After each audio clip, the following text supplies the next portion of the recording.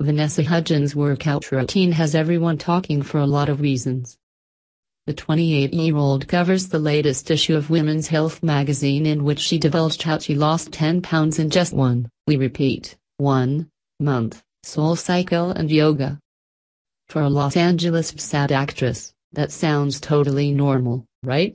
Well, it is dot dot dot until she mentioned she takes the pricey indoor cycling class twice a day while maintaining her yoga practice three times per week. Just to put things in perspective, let us break down the cost of all that. One SoulCycle class, $30. Two classes per day at least five days a week, $300 per week. One CorePower Yoga class, she's been spotted at this studio several times, $25. 3 CorePower Yoga classes per week, $75 per week.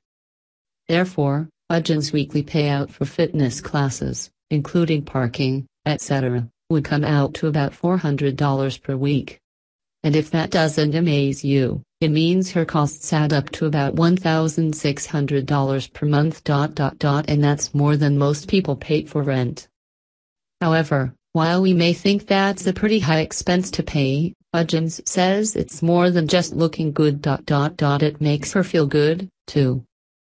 I don't consider it fitness, Hudgens explained in Women's Health.